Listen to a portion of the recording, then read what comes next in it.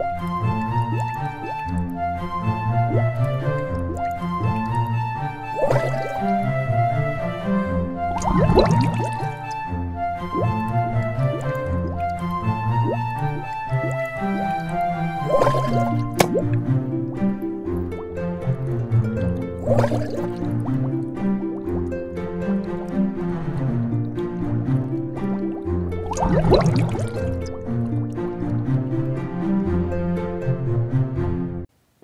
Welcome back to Have You Swallowed the Hook, a 21st century challenge to the 19th century worldview of evolution. My name is Thomas Bentley, and in this episode, number five, we will tell, we'll look at the, what they tell you love is just a chemical impulse. We're going to look at the evolutionist worldview of love and compare that to what we find in creation here tonight and the moral impact of both. Well, let's begin with a word of prayer. Father in heaven, as we delve into this study on these two worldviews the worldview of evolutionism and its version of love, and the Bible and the revealed love of the Creator God for us, I pray that you would be with us and help us understand these important things. In Jesus' name, amen.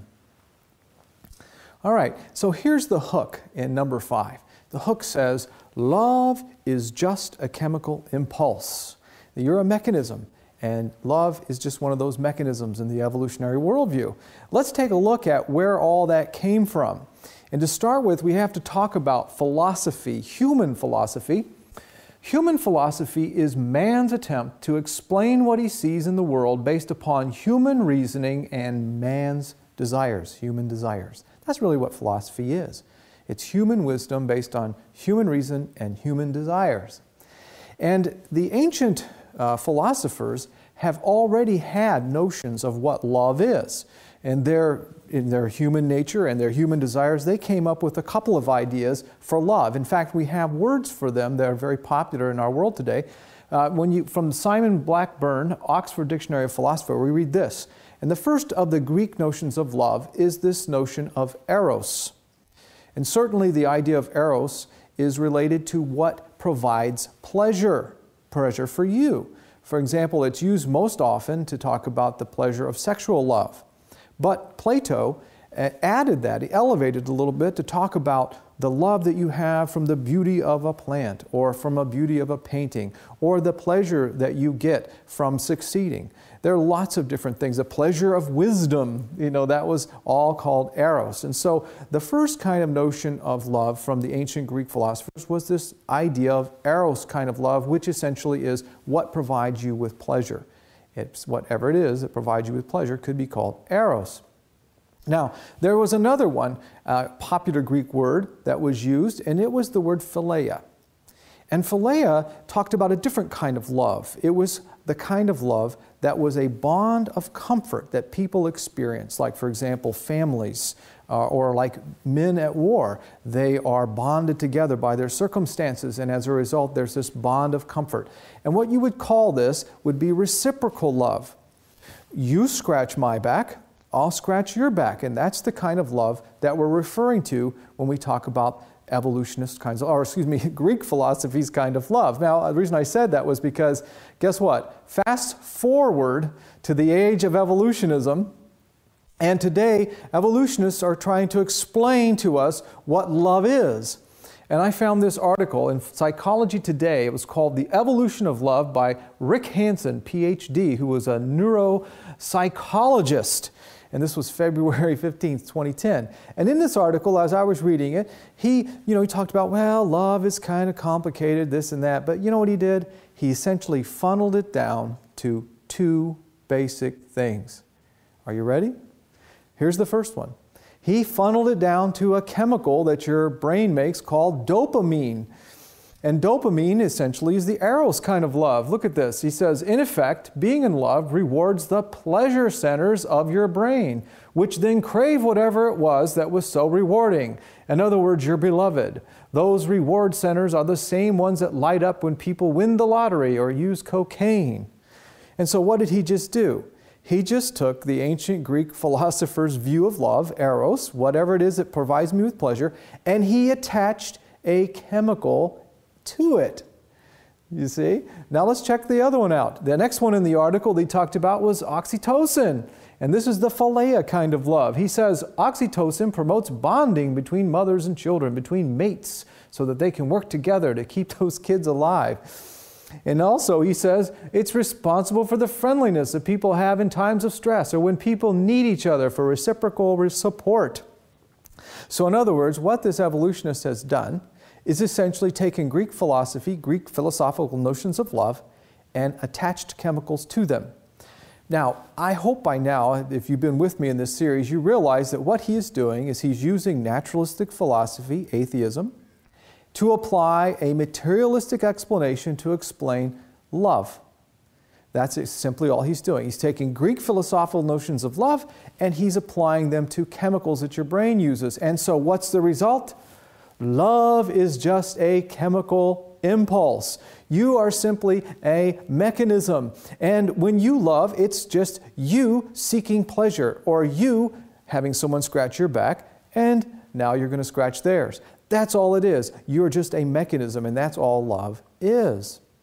You know, it reminds me of a cartoon where it says how singers become self centered. They sit, they sit there and they practice. They go, me, me, me, me, me, me, me, right? You've heard that, right? And this is the bottom line. In the evolutionist worldview, it's all about me. It's the most self love, essentially, is all self love. It's all selfish love. It's all about who scratches my back or I scratch theirs. It's all about if what can provide me with pleasure. And guess what? In the evolutionist worldview, this is just normal and natural because you're a mechanism. And those two chemicals force you to do what you do. Oh, dopamine, love, pleasure. Oh, oxytocin, bond of comfort. So all it is is that you're simply considered a mechanism. And this is what happens. But you know, the Bible talks about the days that we're living in when people have this kind of love. 2 Timothy 3 1 to 5. It says, But understand this, that in the last days there will come times of difficulty, for people will be lovers of self, lovers of money, proud, arrogant, abusive, disobedient to their parents, ungrateful, unholy, heartless, unappeasable, slanderous, without self control, brutal, not loving good, treacherous, reckless, swollen with conceit, lovers of pleasure rather than lovers of God, having the appearance of godliness but denying its power. Ooh, avoid such as these. This is going to be something you will see even in Christianity, where evolution's worldview of love is now our worldview. It's all about what provides me with pleasure. It's all about who scratches my back and I scratch their back. This is the evolutionist worldview of love. And let me talk to you about the moral impact of that. Uh, I was reading Time Magazine re recently, and Time Magazine, friends, basically is a mirror of the American culture. If you want to know what the American culture is like, read that magazine. And in it, one day I was reading it, and I saw this article about Breaking Bad, and I thought, wonder what that is. What's Breaking Bad? So I read the article, and it turns out that there was a television series that was produced called Breaking Bad. And in it, there was a man, his name was Walter White, if I have that right. And Walter White was a upstanding citizen, a chemist in his profession, and all of a sudden his wife gets cancer. And so Walter White then uh, breaks bad. He starts cooking meth and he begins to sell that meth and of course what he, he to make money. Now I want to share with you as a pastor, I have led two people to Jesus. I've actually baptized two people who were addicted to methamphetamines, and I will tell you that that is one of the most destructive drugs that I've ever seen on a person's body. These people, they were, even though they were younger, they looked years older, and, and they had no teeth. One lady had one tooth, literally left because of the effects of this drug. You know, cooking methamphetamine, selling methamphetamine is an evil thing because you're actually hurting other people and become addicted to this a horrendous drug. But yet, here's this man, because he needed to have money for his wife who had cancer, he was now expressing his evolutionist love, seeking pleasure in getting that money for his wife by creating this horrid drug. And as he goes along, he forms bonds of comfort with fellow drug dealers and he eventually expresses that love by murdering them. And, and, you know, it goes on and on and on. At the very end of this article, it talks about how at the end, uh, Willard, uh, this guy basically was now rich. His wife was paid for, all this drugs or whatever was paid for. and he now wanted to be an upstanding, respectable guy. You know, he, he had to break bad in order to express basically his evolutionist kind of love. And now that he was done, he was going to be, you know, the richer people or the higher evolved. So he was now a richer person. and they, they were at the end of the movie and they were the series, and they were just the whole article was talking about what do we do with this guy? Do they kill him off? They reward him? I mean, but you know what? That's not the right question. See, what's happening here in our world is that breaking bad has become the new normal because in the evolutionist worldview, love is a mechanism, and love is simply seeking that which provides you pleasure. It's simply looking for those people to scratch your back and you scratch their backs. Love in our world now is the, the new normal is this idea of breaking bad. And we see it in our politics. We see it in our, our leaders in our country. We see it everywhere where people, to express that evolutionist love, which they claim we're just a mechanism and it's all we're doing, bouncing around here and there, seeking our pleasure, bouncing around here and there, looking for that bonds of comfort. Doesn't matter what you do to people because we're just scratching our way to the top of the heap. This is the new morals of evolution, the evolutionist view of love. So, this is the world we have a world where people express that love, they're taught that love, they see that love. And of course, we see it in the high crime rates and the kind of world that we're living in today. But fortunately, friends, there's another model. There is the worldview of creation. And in the worldview of creation, there's another Greek word that has been used throughout history to describe a different kind of love, a kind of love that was originally intended for all of the creation that we're living in. And that word is the word agape. Agape is a very little used Greek word that has its meaning basically only through the coming of Jesus Christ into this world. And the word agape can best be described as a love that is other centered love. It's love that focuses not on me, but on you. Let's take a look at that for a minute. The Bible says in 1 John chapter 4 and verse 16, it says something amazing. It says God is love. In, in the original language, it's ho theos agape estin. Basically, it says the God, He is the love. God is this kind of love, this other person focused love. Let me share with you what the Bible says about it.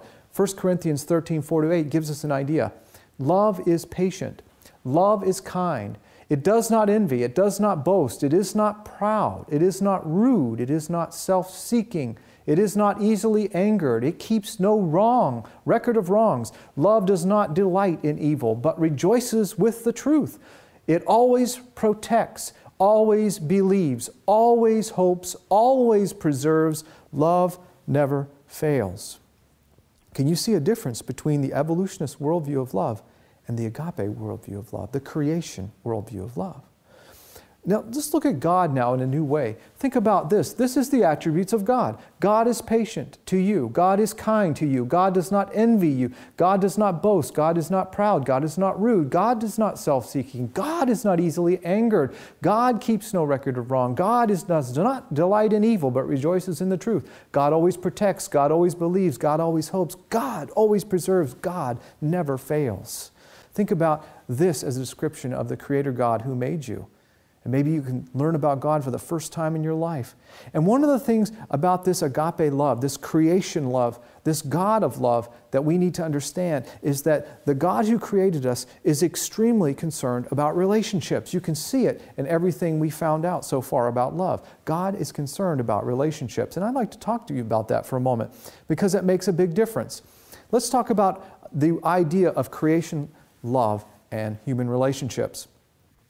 In the book of Genesis, God created us originally in His image, different from all the other animals. He created us with the ability to choose as He can choose, to reason as He can reason, and to create just as He can create. And in a world like that, you have to set some boundaries, right? And if God, who is our creator, has the rights to set the boundaries on his creation, you might think of it in a sense like uh, a game. Anybody who's ever played a game knows that there are boundaries in which the game plays. There's the rules of the game. And if you do not have any rules, there is no game. Isn't that right? Very quickly, you realize everybody goes home because they say, wait a minute, this is no fun. We're not doing anything here. And so we all recognize the fact that boundaries, and some people that play the game don't see them as boundaries, they see them as pathways to good sportsmanship, pathways to the way to live. And this is the way you should see the kind of boundaries God set for us. And where those boundaries were originally recorded or written down, I believe they were there at creation, is at a time in Exodus where God gave to a man named Moses Ten Commandments. And I'm going to I'm to ask you a question. If you know what these Ten Commandments are, think about this for a minute. Are these commandments that talk about other person focused love? Well, I will share with you that they are. There are four of them that talk about how we can practice other person focused love with God, and there are six of them on how we can practice that with one another. Think about it. The first one was, You shall have no other gods before me. If I really love God, I won't place my car or my money or my bank account or some or statue or image in front of God. I won't do that. Uh, the second one says, You shall not make for yourself any graven image of anything that's in heaven above or on the earth or beneath the earth. Because guess what? When you do that, that's how you show me that you actually hate me.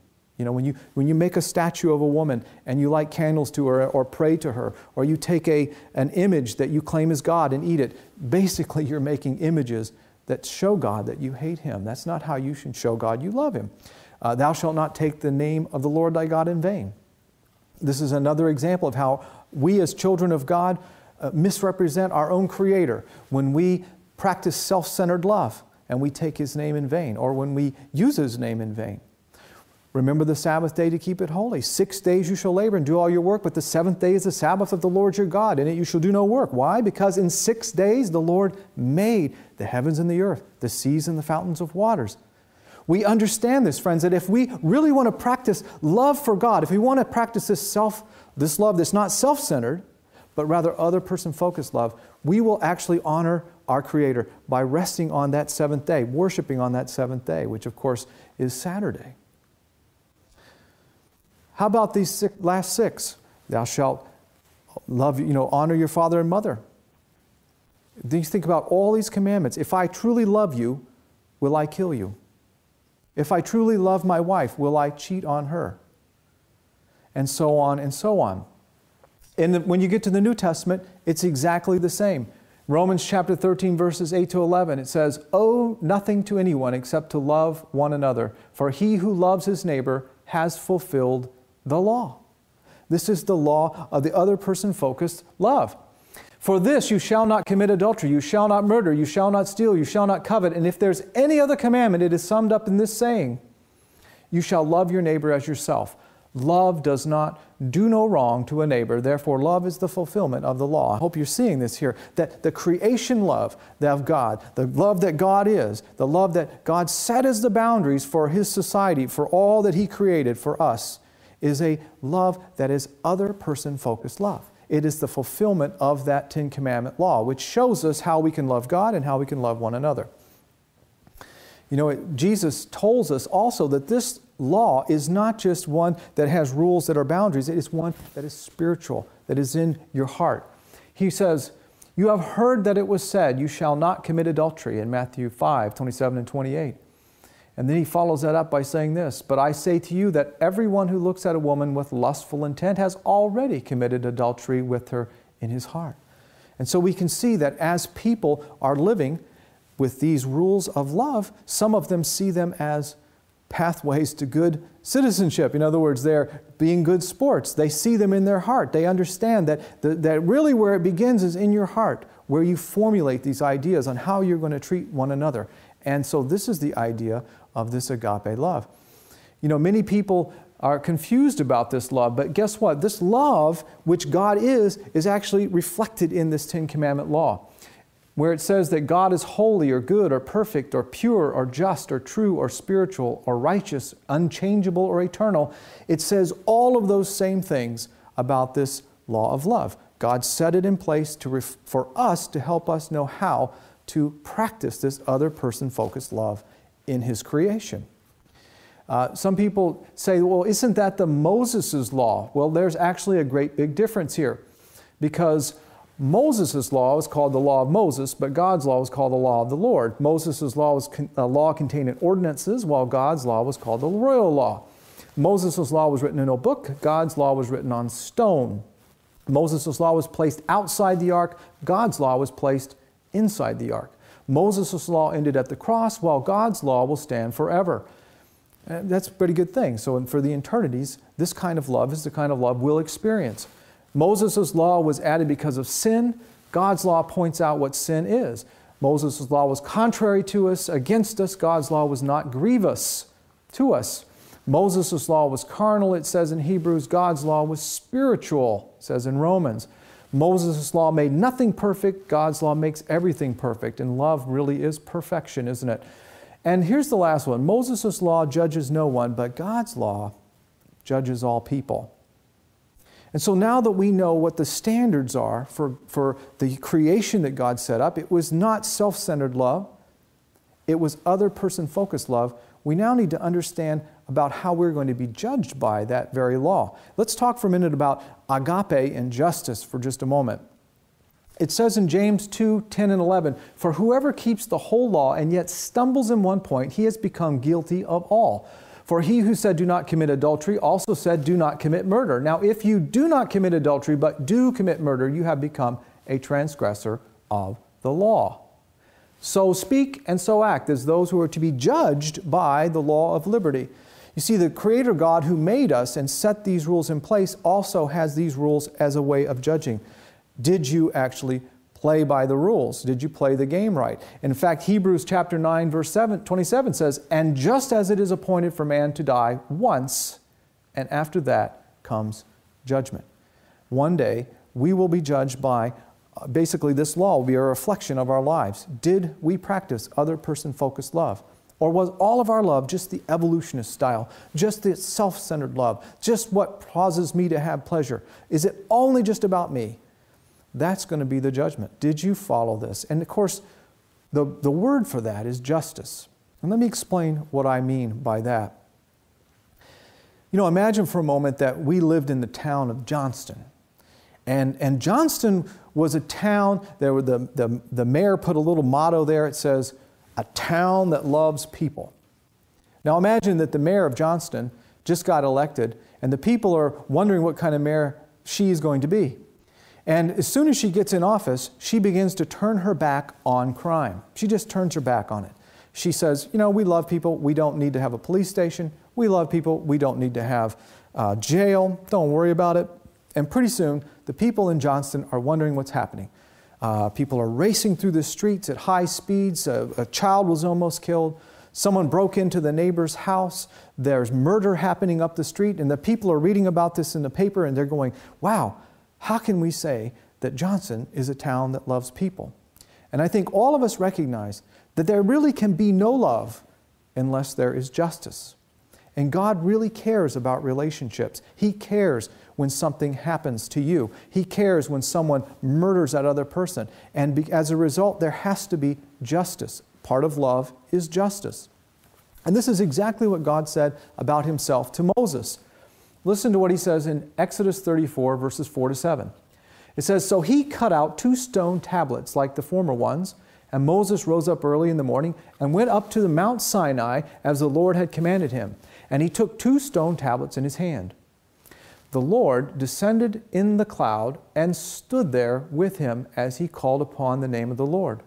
Then the Lord passed in front of him and proclaimed. Now, here's the Lord going to proclaim about himself here the Lord, the Lord God, compassionate and gracious, slow to anger and abounding in loving kindness and truth, who keeps loving kindness for thousands, who forgives iniquity, transgression, and sin. Yet he will by no means leave the guilty unpunished. You see, the character of love has two qualities mercy and justice. God really does care about relationships. He cares what happens to you. And as a result, there is justice that we find in the law. The Bible says in 1 John chapter 3 verse 4, whoever committeth sin transgresses also the law. For sin is the transgression of the law. And what this is saying is that that moral law of love, this boundary code that God had given for His creation, when we break that, when we decide to practice self centered love and we hurt another person, we're transgressing that, and that's called sin. Matter of fact, um, let's take a look at that concept for just a moment. You know, sin really always talks about our unwillingness to keep this moral law of love, to love people with other person focused love. For example, one of the words for sin is simply that you're incapable of doing it. You're incapable of loving someone as you, you basically this other person centered love. Another word is transgression. Transgression can best be described as rebellion. This is where you actually are saying, I don't care, I want to do it my way. That's the, basically all of evolution and atheism today. It's transgression.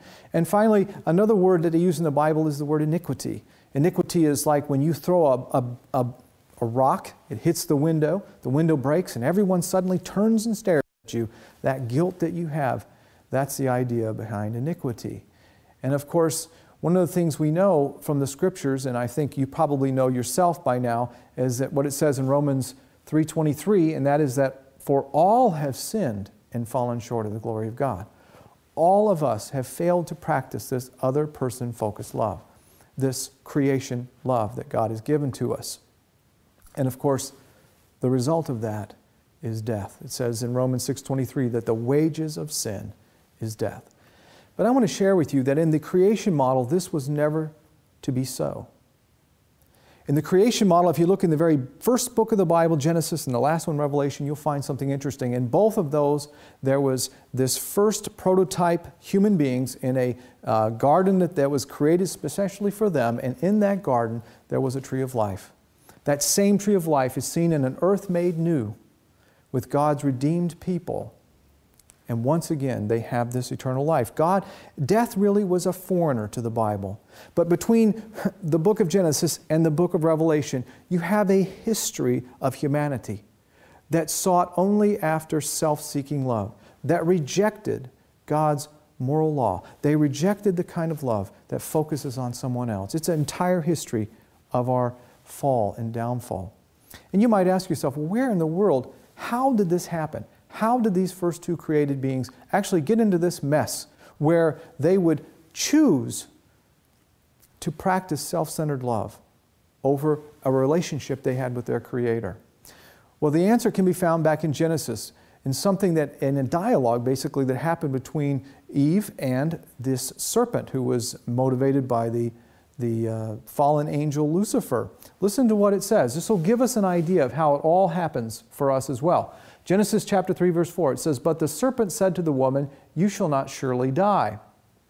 For God knows that when you eat of it your eyes will be open and you will be like God knowing good and evil and here is the key something that this fallen angel had discovered for himself is that when you make yourself God when you deify yourself then it makes it possible for you to only love yourself and to reject this love that God had set in His creation, this love that God is, this other person focused love. This is the bottom line. The first commandment that you break, when you break them all, is when you make yourself God. And this is exactly what's happened in our world today. I found an interesting article in CNN Belief blog. And the article is this it's, it's a study that happened by a, a professor in Concordia College and the title of it is How Satanists See Death. And what this, uh, this person from Concordia College did was they were able to get into the higher echelons of the religion of Satanism, which started in San Francisco and now is centered in New York City. And when she was interviewing these very, very high level atheists, she discovered the, basically the secret to their whole religion. And here's what it is Quote, one of the main tenets of the faith is atheism. Not just a disbelief in God, but also in the devil or Satan. Satanists believe God is an invention of man and instead deify themselves. This is the essence of how we get to this place where we have only self centered love, is when we choose to make ourselves God. We choose to reject the Creator God who made us and instead elevate ourselves to the level of God. And that's what the basis of evolution is. Evolution is atheism. And so, this is how we got to the place in our world today where we have nothing but self centered love. In the Bible, God's justice was, was seen because when people only practice self centered love, everyone gets hurt. Think about what happened in Genesis, a time when there were people on the earth were described this way. Genesis 6 5. Every intent of the thoughts of their heart was evil continually. The love had gotten to the place in this world where it was totally self centered, never focused on anyone else. The thoughts of their hearts were evil continually. Can you imagine a population like that? Well, guess what? We're, we're moving in that direction today.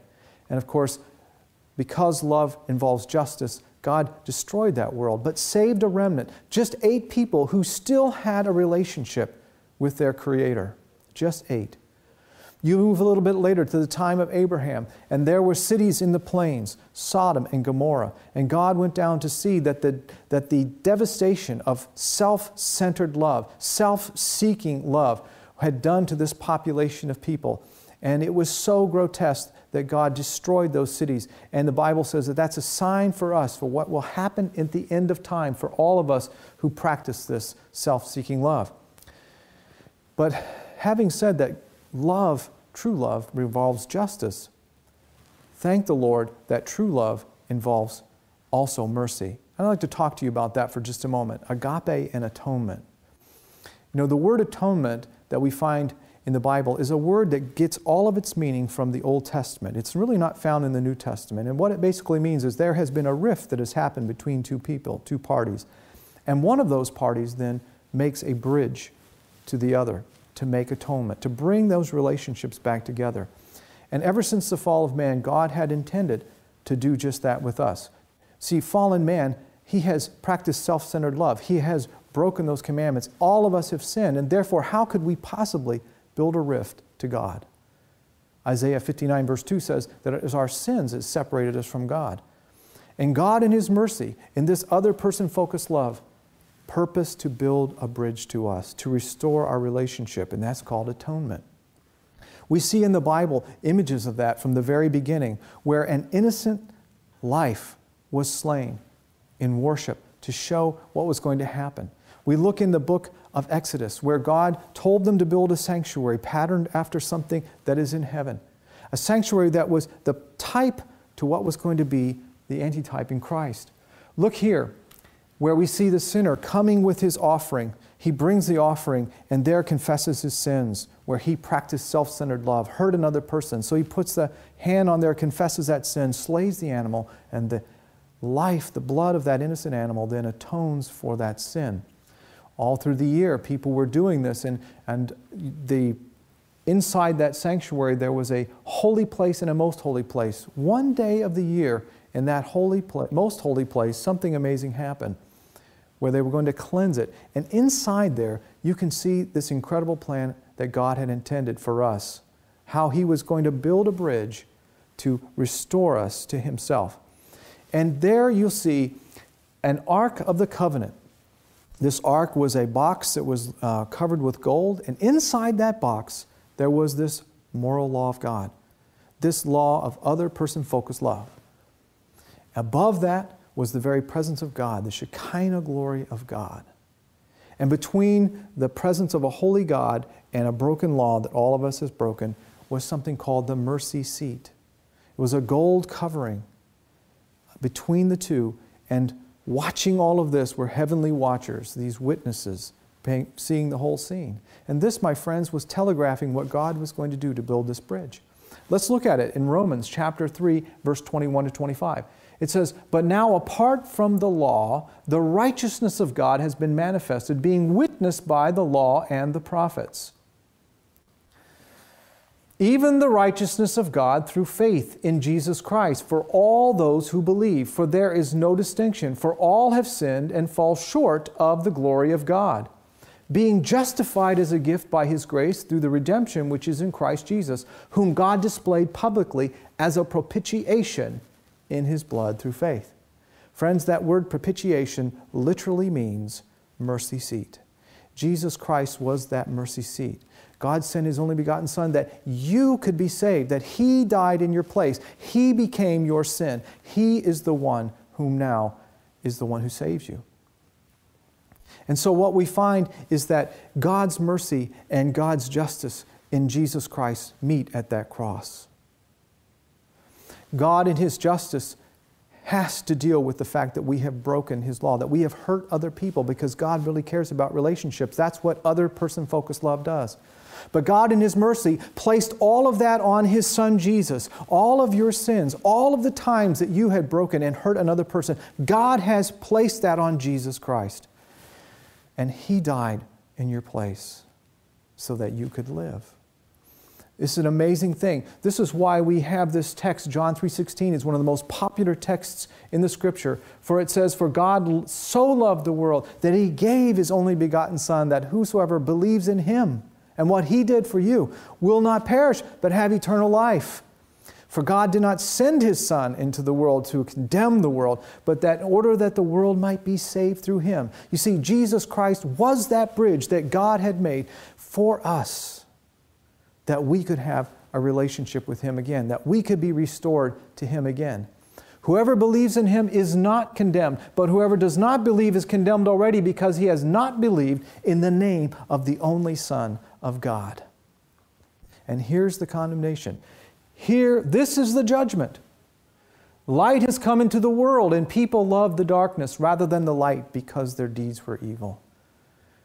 You know, friends, today we have two choices. You have the choice of practicing evolutionist love, just banging around in life, breaking bad, seeking whatever you can, or you have the opportunity to look at Jesus, to be restored by God, to have your sins forgiven, to come back and be united, atoned with God. The choice is yours. It's all a matter of your choices. Jesus built a bridge for you. Right now, I'm going to make an appeal that you come across it, that you accept what Jesus Christ has done for you. It'll change your life. And you know, this is, this is something I want to share with you that there's one more aspect to love. See, God is a God who creates, and He wants to recreate in you love. He wants to restore in you this other person focused love. And that's part of agape. You know, you think about the fact that a person who funnily sees the love of God, they suddenly understand their situation and they turn and accept Jesus. God wants to change their hearts, He wants to restore in them something new. And He can do that in you, friend. It says in Hebrews chapter 8 verse 10, "For this is the covenant that I will make with the house of Israel after those days declares the Lord, I will put my laws into their minds." And write them on their hearts, and I will be their God, and they shall be my people. You see, this God who created us wants to recreate in us. He wants to put that moral law of love inside your heart, that you would have this ability to practice other person focused love, that you could be restored back to the way it was, and you could have a relationship with God. You can have relationships with one another based not upon self centered love, but other person focused love. And this is the whole goal behind what God has planned for us. Think about it. Colossians chapter 1 verse 26 to 27. The mystery hidden from ages and generations but now revealed to his saints. To them, God chose to make known how great among the Gentiles are the riches of glory and the mystery which is Christ in you, that you too can live as Christ lived, that you too can have the love that God has for you, that you too could express this other person focused love. This is the ideal. This is what God wants to do to you and for you. Friends, we've seen both of these models today. We've seen the evolutionist worldview of love and where that is taking our society. And I've shown you the creation model worldview of love. I've talked to you about what that love looks like, who that God is who loves you, and how that God is through His plan of salvation going to save you. But not just save you from the penalty of sin, but also restore you so that you too can live a life that practices other person focused love. Is that a desire that you have today, friends? You know, I'm going to share with you that I'm, I'm speaking here today to people perhaps who are hearing this for the first time. They've, they've been going through this series. They've been realizing that this evolutionist worldview, this atheistic worldview, is not really science. It's not really what's happening in our world today. And now you've come to this place where you've learned about God and we're asking a question Will you accept this Creator God? Will you accept His salvation that He offers you so freely? I remember a story that I was told about a man and his two sons. They went out into the ocean in a nice place where there was a very hot day and the waters were nice and mild. And there his, this father looked at his two sons in the boat and they said, he said to his sons quite clearly, he says, Sons, I want you to stay in the boat. Don't go in the water because there are sharks in this water. And I know that they are here. So don't go in. So he goes down into the cabin to fix some lunch. And while the boys are out there on this hot day, well, you know what they were doing. They were playing and, and laughing and roughhousing it around. And one of the boys then took the other person's goggles and throws it out off the boat into the water. Well, you know, the other boy just immediately dashes into that water and he swims over to those goggles. He puts them on and then he looks around into the water and he says, Well, I don't see any sharks. Hey, come on in. The water's fine. There's no sharks in here. Come on in. And so the two boys get into the water and they're playing and roughhousing around in the water. And pretty soon they, have, they had drifted away about 200 yards away from this boat. The father, finishing lunch, comes walking up onto the deck with a knife in his hands, looking for his two boys and shocked to see them out there in the water. He says, Boys, come back into the boat. And they said, Dad, you're just trying to scare us. But what the boys couldn't see, that the father could see from his perspective, were these dark shadows that were rolling around in the water, beginning to enclose the area where these boys were playing. And he looked at the two boys and said, Sharks are in the water. Come into the boat. And the two boys hesitated until finally one of the sharks crested and they saw the, the fin and they became scared. And the father looked at them at that moment and said, Boys, when I jump in the water, I want you to swim to the boat as fast as you can. And he did something unthinkable. He slashed his wrists with that knife. Blood gushing everywhere, he dives into the water in the opposite direction and swims as fast as he can. The boys rushed to the boat, and by the time they got inside that boat of safety, they looked out into the water, and all they could see was the water churning, the water and the blood. You see, their father, in love for them, laid down his life so that they could be saved. Because these boys chose to practice self centered love. The Father, in His love, laid down His life so that they could be restored. And this, my friends, is what Jesus has done for you. God so loved you that he gave his only son, that if you accept Jesus Christ, you can be saved. You can come out of a world of evolution love and out of a world of mechanism and self centered love, smashing around your life, clawing to the top, and you can come back to a love that will change your life. Would you like to accept that today? You know, that, that blood is still in the water, friends, but I don't know for how long before Jesus will end his work of mediation for you and come again. So I'm asking you to make a decision today, a decision to choose Jesus Christ as your Savior, to, choose your Creator, to come back to the love that you were intended for all your life. And friends, if you've made that decision today, I'd like you to write us here in Amazing Discoveries and let us know that you have made a decision that has changed your life forever, because I'd like to hear about it. Well, let's pray. Father in heaven, thank you so much for sharing with me in the scriptures this love, for helping us see the difference between the evolutionist worldview of love and the one that you had intended for us all along. I pray for those people today that are making decisions in their hearts right now to accept the kind of love that you had intended for us for eternity. Thank you so much for that. In Jesus' name, amen.